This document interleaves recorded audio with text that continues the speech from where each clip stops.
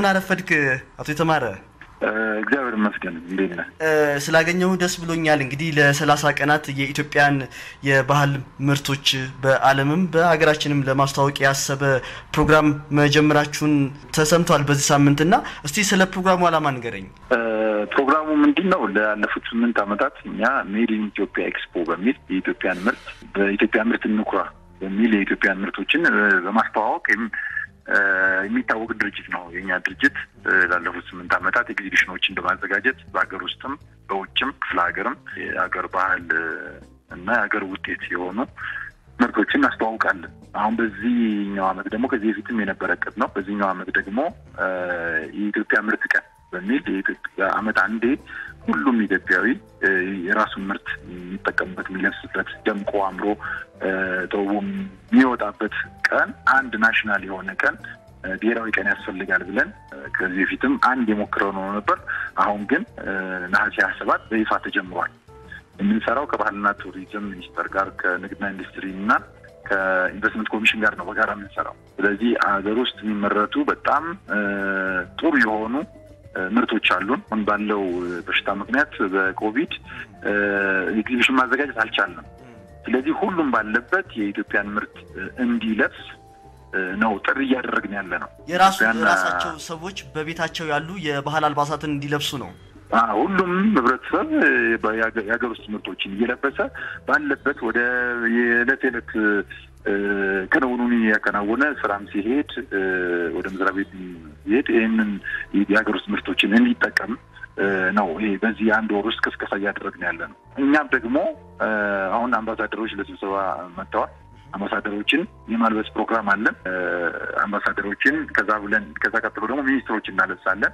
ከዛ ጠቅላይ ሚኒስትራችንን እናለብሳለን የኢትዮጵያን ምርት ውጤት ምክንያቱም ከላይ ካልጀመረ ራሳችን ማንጠቀም ከሆነ ራሳችንን ማናከብር ከሆነ እኛ ራሳችን ቀዳሚ ካልሆን ሌላው ሊገዛ ሊጠቀም አይችልም የሚል ነው አመለካከቱ እና መንግስት ለዚህም ትኩረት እንዲሰጠው የመንግስትንም አይን ከመክፈት አንጻር ትልቅ ስራ ነው እየሰራን ያለ ነው። ከላይ ሲጀምር ነው ወደ ታችም ተቀባይነት ሊያገኝ የሚችል። ሌሎች ሀገሮች ስናይ እንደዚህ አይነት ፕሮግራሞች make in India፣ made in China እነዚህ እነዚህ ሀገሮች ስራዎች branding ነው፣ ሀገር የሚያስተዋውቁ ናቸው። የሀገርን brand የሀገርን ማንነት የሚያስተዋውቁ ናቸው እና ብዙ ጊዜ በጠቅላይ ሚኒስትሩ ነው እንደዚህ አይነት ፕሮግራሞች የሚካሄዱት ከላይ ነው የሚጀምረው። አቶ የተማረ ምናልባትም ከፍተኛ የመንግስት ባለስልጣናትን ባሳተፈ መልኩ እንደዚህ የኢትዮጵያን ምርቶች በአልባሳት መልክ ተጊጠው ለአንድ ወር እንዲቆዩ የሚለውን ሀሳብ ስታነሱ ከፍተኛ ዲፕሎማቶቹም ሆኑ የመንግስት ባለስልጣናቱ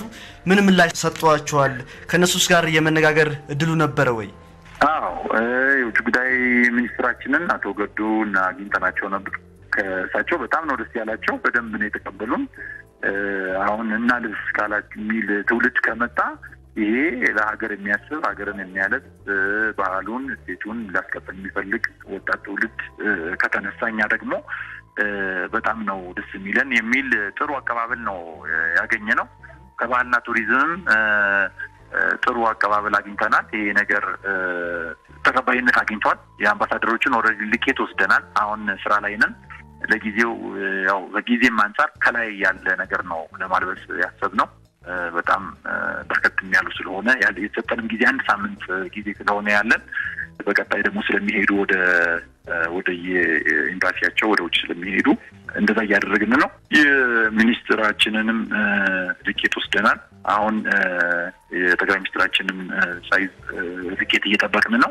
በዛ መልክ ከላይ እንጀምራለን። ከዛ በኋላ በሁሉም ሚኒስቴር መስሪያ ቤቶች እየሄድን እያለበስን ከእነሱም ጋር ፎቶ እየተነሳን interview ም እያደረግን ይሄ ቅስቀሳ ይቀጥላል ማለት ነው። ከዛ ቀጥሎ ደግሞ ጎዳና ላይ ያሉትንም ወንድሞቻችንና እህቶቻችንም የማልበስ ፕሮግራም ይኖረናል። ምክንያቱም የኢትዮጵያ ምርት ሁሉም ነው እንዲኮራ የምንፈልገው፣ ሁሉም የኔ ነው እንዲለው ለነገም ተስፋ የሚሆን ነገር ስለሆነ ኢትዮጵያ ይሄንን ታመርታለች፣ ለካ ተስፋ አለ ኢትዮጵያ ውስጥ እንደዚህ ማምረት ከተቻለ። ምክንያቱም ለብዙ ዓመታት ከውጭ ነው እያስገባን ያለ ነው። አይምሯችን ላይም መርፌ የማታመርት ሀገር የሚል ነገር አይምሯችን ላይ የተጫረ አለ እና ይህንንም ለመቀየር ነገም ተስፋ እንዲኖር በዚህ መልክ ነው እየተንቀሳቀስን ያለ ነው። ቀጥለን አባትና እናቶችን የማልበስ ፕሮግራም ይኖራል። ምክንያቱም ከዚህ በፊት ለዚች ሀገር ትልቅ አስተዋጽኦ ያደረጉ እናቶችና አባቶች አሉ።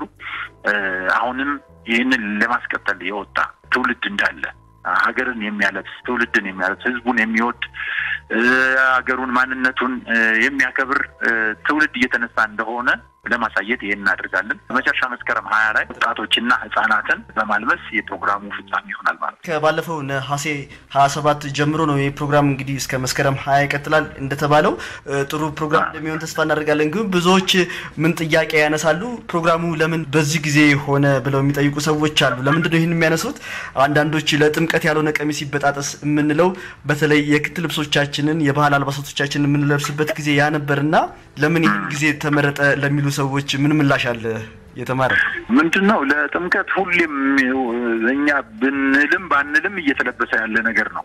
አሁን እኛ already እየተደረገ ያለውን ነገር ላይ መጨመር ሳይሆን አዲስ ነገር መፍጠር ነው። አሁን በጥምቀት መለበሱ፣ በበዓላት መለበሱ ይሄ ጥሩ ነገር ነው።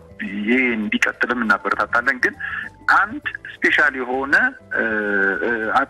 የሁሉንም attention የሚሰጥ እንደገና ደግሞ እየመጣ ያለው አዲስ ዓመት ስለሆነ አዲስ ዓመት ከመምጣቱ በፊት ሰው አመለካከቱም ብዙ ምክንያቱም አዲስ ዓመት ላይ ብዙ አዳዲስ እቃዎች ይገዛሉ። አልባሳት ብቻ አይደለም፣ ድርጅቶችም ቢሆን በጀት አውጥተው የሚገዙበት ሰዓት ነው እና ቀደም ብለን ይህን አመለካከት ለውጥ ይህንን ቀስቀሳ የምናደርግበት ምክንያት ለአዲስ ዓመት ከዛውም ቀጥሎ በቃ ለሚቀጥለው ሁለት ሺ አስራ ሶስት ብንለው ለምሳሌ አሁን ለዚህኛው ሁለት ሺ አስራ ሶስት ላይ ሰው ሲያቅድ በቃ የኢትዮጵያን ምርትም አብሮ እንዲያቅድ የኢትዮጵያን ምርት ለመግዛት የኢትዮጵያን ምርት ለመጠቀም እንዲያስብ ሆን ተብሎ የተመረጠ ጊዜ ነው።